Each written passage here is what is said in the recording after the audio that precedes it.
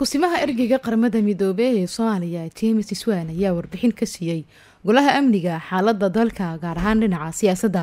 Dhamaystirka dastuurka ammaanka iyo la dagaalanka al-shabaab.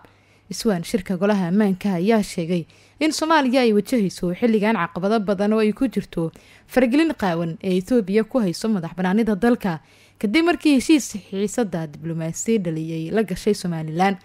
waxaan ka walaacsanahay xiisada gobolka geeska afrika ka taagan ee ka dhalatay heshiiska badda somalilan la gashay ethoobiya kowdii bishii januari labada kun afar iyo labaatanka. Waxaan ku baaqayaa in la dhowro madax banaanida iyo midnimada dalka soomaaliya. Waxaan ugu baaqayaa labada dowladood inay khilaafka ku xaliyaan si nabdoon oo waafaqsan xeerarka caalamiga ah iyo axdiga qaramada midoobey ayuu yidhi james swan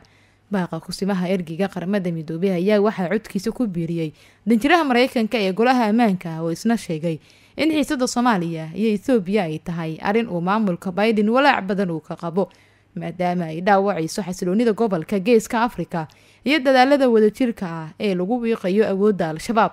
mareykanka iyo qaramada midoobey ayaa soo dhaweeyey guulaha dowladda soomaaliya ay ka gaartay diin cafinta dib weegista dastuurka qaadista xayiraada hubka iyo ka mid noqonshiyaha bulshada bariga afrika iyo golaha ammaanka. Etoobiya ayaa heshiis sharci darro ah la gashay maamulka somalilan horaantii sanadkan kaasoo ay ku dooneyso inay ku boobto labaatan kilomitir oo bad ah oo ay rabto inay saldhig ciidan iyo dekadba ay ka dhisato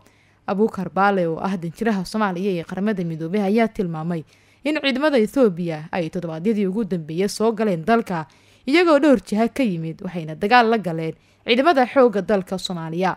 Arrintan ayaa imaaneysa xilli la taliyaha amniga qaranka soomaaliya uu sheegay dhowaan in ciidamada ethoobiya oo dhan inay dalka ay ka bixi doonaan bisha diseembar ee sanadkan aynu ku guda jirno labada kun afar iyo labaatanka